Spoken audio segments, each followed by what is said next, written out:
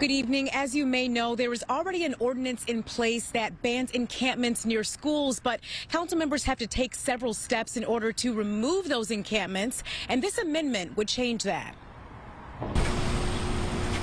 At Virgil Middle School in Koreatown, a large encampment canvasses part of the school's property, leading parents to voice their concerns at the LA City Council meeting Tuesday. I also know that these people um, suffer from mental mental health issues and they're always fighting with each other. LA Unified School District Superintendent Alberto Carvalho echoed those words. The trauma, the long term, short term repercussions impact on the psychological, cognitive development of children that those conditions present should be unacceptable to any one of us. After hearing from Carvalho and parents, the LA City Council voted to expand its anti-camping law to cover hundreds of educational facilities. The current ordinance allows the council to prohibit encampments around parks, libraries, and schools, but it can't be enforced until the council has reviewed the location and voted to clear it.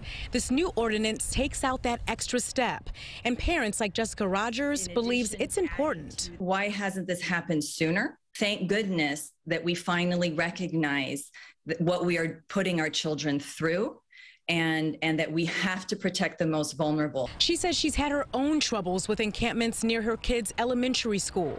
These are things that you do not want to or at least I did never thought that I would be exposing my children to living in Los Angeles. Councilmember Joe Buscaino was one of the council members voting in favor of this amendment. Of he introduced a similar motion months ago. It's taken too long. We, we shouldn't have to have this debate to um, prohibit encampments next to schoolyards. It's getting worse. Critics argue the ordinance will punish people for living on the streets. Councilmember Mike Bonin, who voted against the measure, believes the ordinance doesn't solve the issue. In a tweet, he says banning homelessness near schools will just move the tents to the sidewalks kids take to schools instead. Buscaino disagrees. To the opponents who are opposing this, including a couple of my colleagues, you know, what's with the debate? Schools are sacred grounds. You know, why debate? Why study? Why vote no on this?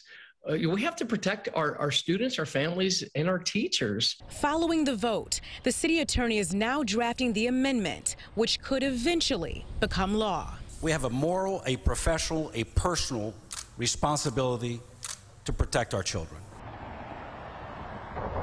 The next step is this measure will go to committee and then city council will vote on it again. Reporting live this evening, I'm Coco McAvoy, Fox 11 News.